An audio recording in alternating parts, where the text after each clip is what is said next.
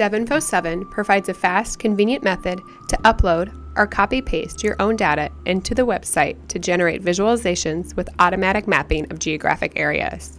This feature is called My Data and allows you to create quick tables, maps, and graphs for your own reports and presentations. Before using this feature, you need to make sure that the currently selected database contains the areas and map files that match your own dataset you wish to visualize. If your dataset contains subnational data for Malawi, for example, you will need to browse the catalog and select a Malawi database which contains those subnational areas. After selecting the right database, click My Data to begin.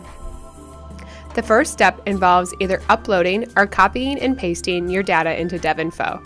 To upload data, your source file must be in one of three formats.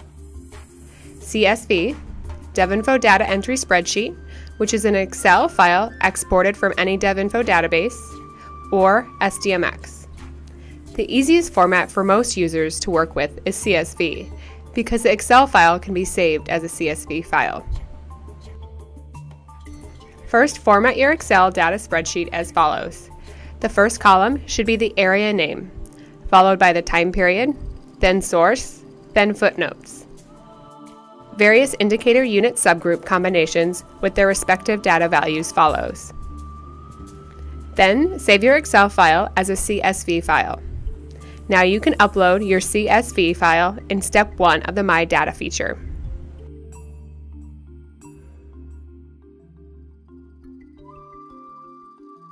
Click Next to proceed. The next step requires you to specify which columns contain area name, area ID, and time periods.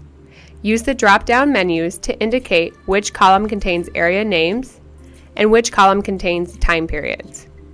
If your source file doesn't contain area IDs, no need to worry. The software will try to automatically match the area names in your file with the corresponding areas in the underlying database. When done, click Next to proceed. The application automatically reads your data, maps it to the area in the underlying database, and takes you to the visualization page, where you can present, customize, share, and save your own data in various formats.